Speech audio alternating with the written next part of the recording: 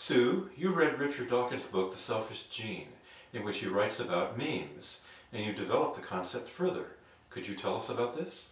Yeah, well, in the beginning, back in 1976, when The Selfish Gene came out, I didn't really notice it much. It was many years later when Dan Dennett took up the idea of, of memes that I got really engrossed. So, in The Selfish Gene, what Dawkins is trying to do there is elaborate the concept of what he calls universal Darwinism. That's the idea that it's a very simple logical idea. If you've got any kind of information that is copied lots of times, but the copies are slightly different, and then you have selection so that only one of them gets copied again, and then the same process keeps happening, keeps happening, you get design out of nowhere. That's how we know biology works. That's, that's what Darwin saw with his principle of natural selection. But what Dawkins was trying to do was to say, this is not a process that applies only to genes, it applies to any information that is copied in, in that way. And that information will just selfishly replicate itself.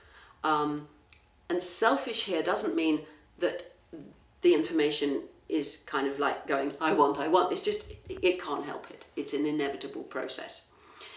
And he wanted to clarify this, so he said, are there any other replicators, any other information like this on planet Earth? Um, well, um, you know, we mustn't get hooked up on genes. What else is there? Oh, every time we copy words, stories, um, ideas, ways of making things um, from person to person, some of those ideas and ways of doing things get copied on again and again and improve as they get copied by this selection process and others just die out. It's the same process happening.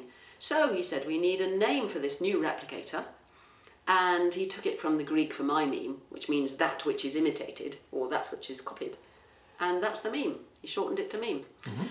And it's an extraordinarily powerful idea.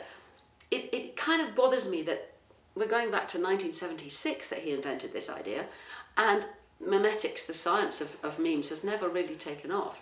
But nowadays, everybody knows what an internet meme is, and it's a really good example of this kind of information. You know, endless pictures of cats are stuck out there on the, internet, and some are just so cute they get copied again and again. Some endless horrible stories and ghastly pornographies out there and some of it appeals enough to certain people they keep passing it on and they succeed and other things just fizzle out so that shows you the principle of evolution at work on on memes and the important thing is that internet memes are just one example all this stuff i mean look at this beautiful beautiful sofa thing that pattern will have been copied again and again and this one this particular one is here because you bought it, I suppose, um, but its origin lies in all the previous ones that have been made and developed through culture. And all of culture, and all our words, and all our stories, and all our songs, they are all information that has succeeded by being copied by us human meme machines.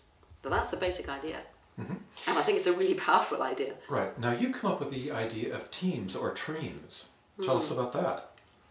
Well, I, I, I, I wrote a book in 1999 called um, The Meme Machine, and I did my best to understand about human memes, us copying things between each other. But as the years went by, you know, so much has changed, hasn't it, since 1999? We're talking nearly 20 years now. And the world of electronic information has just... Well, that's what happens in evolutionary processes, isn't it? you know, they start small. You start with bacteria-like things, and you know, they, we end up with elephants and humans and cats and wings and fur and eyes, and they go faster and faster and faster. And I was thinking, is all this electronic information, this digital information, all the stuff out in cyberspace, all the stuff in Facebook and Twitter and websites and all of this, is it just more memes? We, should we just think of it as more human stuff that we're copying?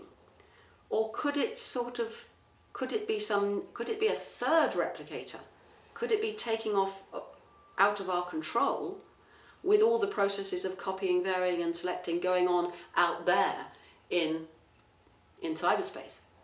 It would all depend on the computers and servers and phones that we've built, but is it a new replicator? And thinking about that, I mean, I don't think there's exactly an answer to whether we should call it a new replicator or not, but I think we really, really need to be alert to what's going on.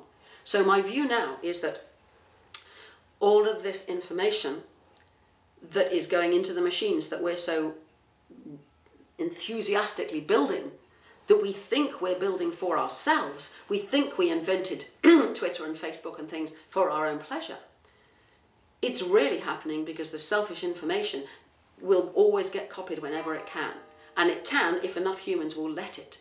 But it's doing it in its, for its own sake, not for ours. And it's proliferating way out of our control. And that's why I thought, well, if it really is out of our control, we should give it a new name. New name. So I, I said Temes, but then people spelt it wrong and thought I was talking about football. So I thought Tremes for like try, you know, for the third replicator. But what I mean by Tremes is all of that electronic information. And it's behaving just as you would expect it to behave from a new evolutionary process. So I imagine it like this this massive cascade of digital information. We're still necessary because we have to build the servers and the computers and the phones. And we have to dig up the oil and the gas and, uh, and, and all the minerals and metals that are required to build this stuff. But it's like a massive extraction process. This information just being copied and copied and copied, causing us to do all this. And we are stupidly thinking that we're in control and that it's making us happy. And look around. You said to me the other day that you went into a cafe and thought, like in the old days, if you went on your own in a cafe, you'd sort of end up chatting with somebody and you'd sit around and enjoy the people. And you know, all that happens now is everyone's.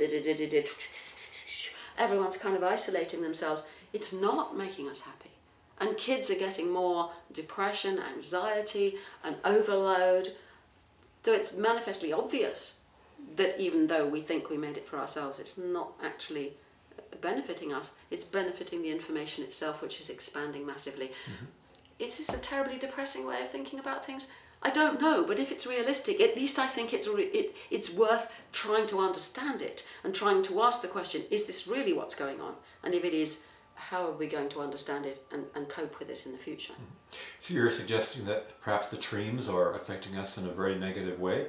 I think about Facebook. You know, and on Facebook, people present a persona about themselves which they want other people to accept, but it's often a persona that is unreal. Yeah. So are people becoming less real? Do you suppose? Well, they're becoming more. It depends what, what it means for a person to be real for a person to be real and authentic, authentic yes, yes, authentic, um, I think comes down to being here, present, having your eyes open, and your relationships with other people to mm-hmm. be immediate, mm-hmm. and and it's taking us away from that, but it's also making us more complicated. And if you think about the effects of meditation or mindfulness, which are about simplifying the self, dropping away all the accretions of I want this and I need that and I must be important and I must be famous and people must like me and all of that, those things when they drop away lead to joy, mm-hmm. a sense of freedom, but at its simplest, just more contentment. And all this stuff is going in exactly the opposite direction, making it more important for other people to like you. I mean, literally, like how many likes you've got, um, and and that you're more important. You've got more um, followers, you, you know, status. Um, yes, it's it's taking us away from, I would think, natural human contentment. Mm-hmm. And if you, I mean, I love the fact that through Facebook I've got in touch with a couple of people that I knew a long time ago I might never have done before. That by looking people up online, you can find there's wonderful things, and this is what keeps us going. It is fantastic, but inadvertently, as it were, all this other things are happening. And if I go back to your your your thought about the cafe. Um, when you're communicating with somebody through your phone, it's extremely useful. You know, I can now tell people whether I'm at the airport or not and what time I'm going to get somewhere. It's so useful. But when you're doing that and communicating someone at a distance, most of the natural human capacity to communicate that we have is absent. It's just the words or the pictures that we send you haven't got the body language, you haven't got the feeling of empathy, you haven't got the processes where two people sitting in a cafe with a cup of coffee, they will move in, in synchrony with each other. They'll see each other's smiles, they'll feel things, they'll feel empathically with the other person, and the conversations are, are rich and deep, and there's more to, than just the words. And that's overlaid by us all sitting there going, this is so important. So I think we're losing, we lose we lose quite a lot and we gain quite a lot. What's the balance? What, you know? what worries me when I and interests me when I think about tremes is we should, if that's the right way of thinking about it, we should be able to ask questions like is it actually worse or better? Is it a price worth paying? Is the lack of privacy or is the communication, um, the, the harm that this might be doing, a price worth paying for the benefit we get? I guess most people would say, well, that's why it happens. But taking it from the selfish replicator point of view, would say the, the prime mover is that information itself. We better watch out, we better ask questions about what it's doing to us and not just assume that because we think we invented it, um, we're in control and it's for our benefit. Because I don't think it is. Sue, thank you. Good, that was short enough to be to get the main thrust over without going off into too much. Do you agree? Yes.